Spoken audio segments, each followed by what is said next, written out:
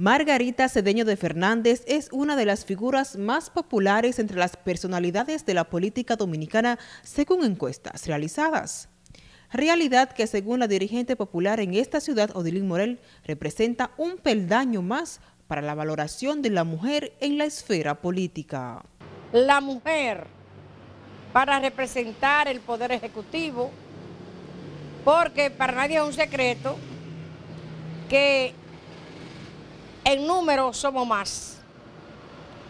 Y si fuéramos franca, si fuésemos sincera, aquí ahora en el 20 podría ganar una mujer como presidente de la República y daríamos la oportunidad de conocer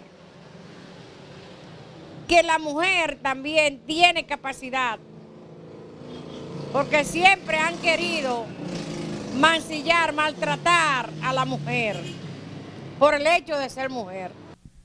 La dirigente popular aclaró, cuando la sociedad esté preparada para ser dirigida por una fémina, esta debe ser independiente y coherente.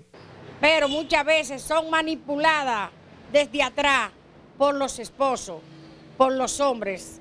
Y eso no tiene que ser una mujer, mujer. Yo soy presidenta de la República y yo tengo capacidad para dirigir los destinos del país. Joanny Cordero, NTN, su noticiero regional.